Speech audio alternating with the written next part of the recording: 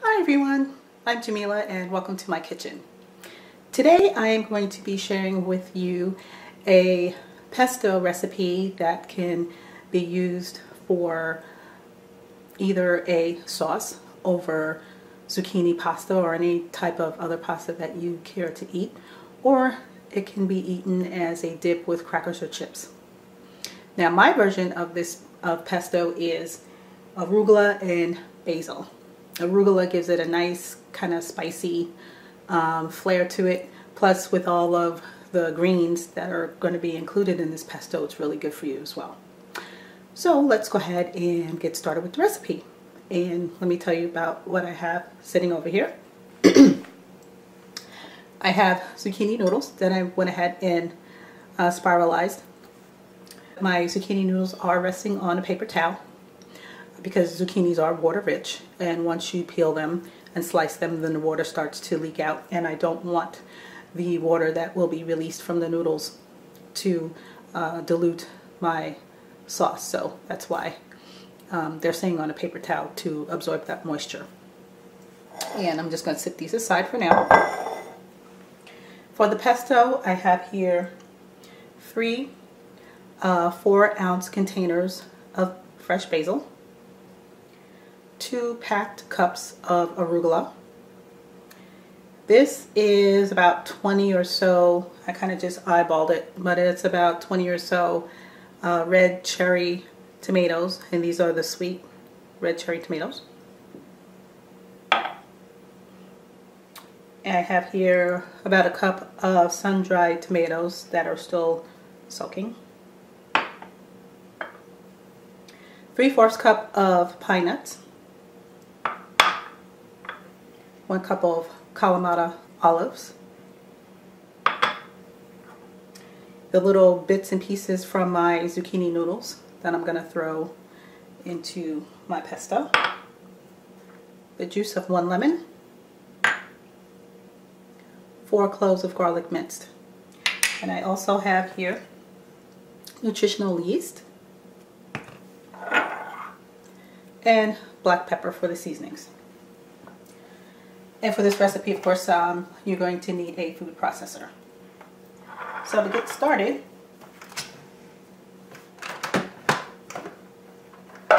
I am going to be putting in first the lemon juice, the garlic,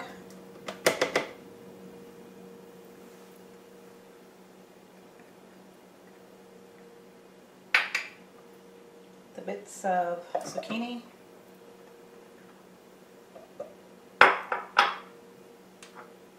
olives,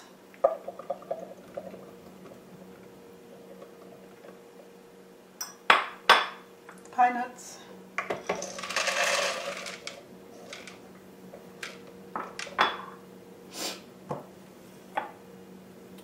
cherry tomatoes,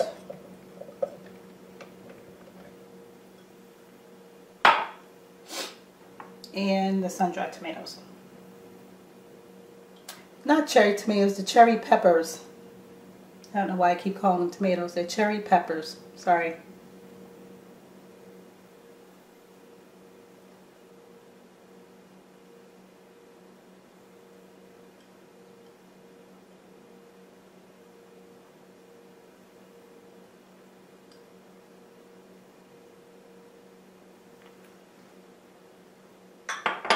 And I'm also going to add in some of the nutritional yeast, about two tablespoons.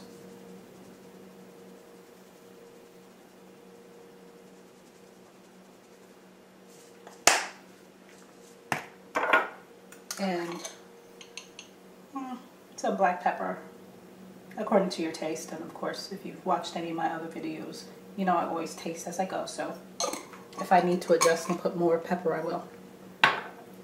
Okay.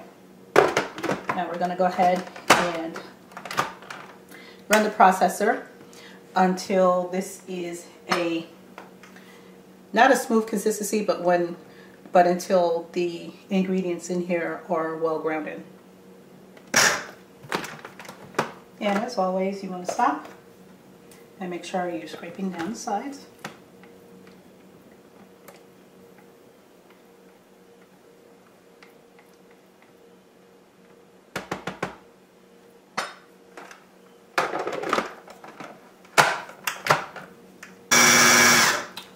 Let's check our pesto so far.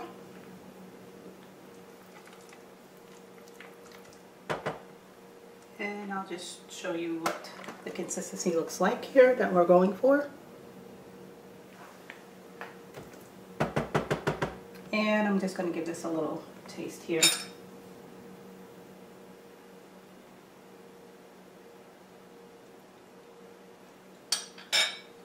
Mmm. Has a little bit cheesy taste plus the flavor of the sweet um, cherry peppers is coming through along with the garlic. So this is perfect. Now we're just going to add our greens. In the arugula.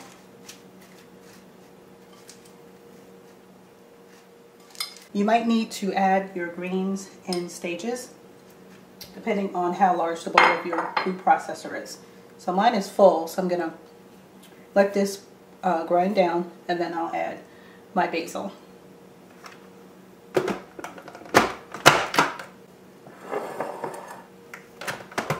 Okay, I have my arugula in there. Now I'm going to be adding all of my basil in batches. Spilling it on the counter. That's okay, it's clean.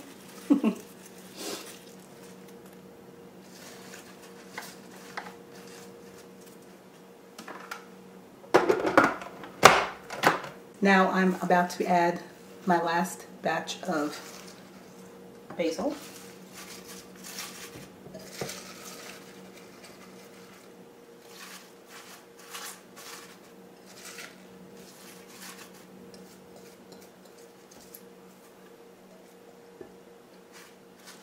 Mm, fresh basil smells so good.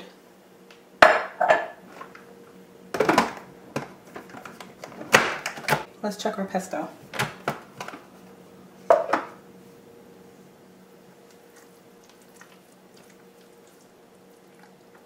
Now this is what it looks like now.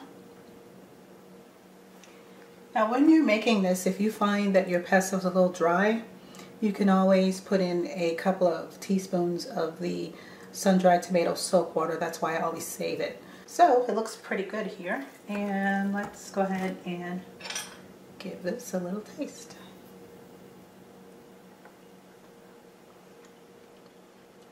Mmm.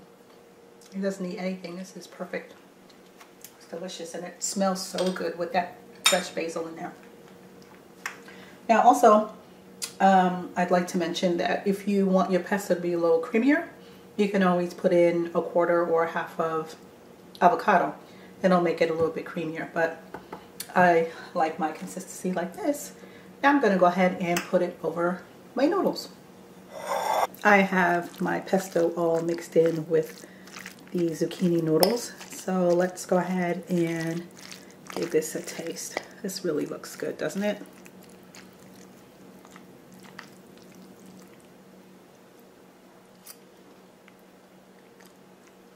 Mmm.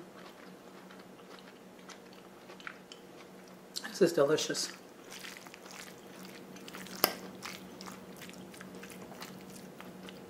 It really is. And I'm going to stop right now before I take another bite. it's that good. So there you have it.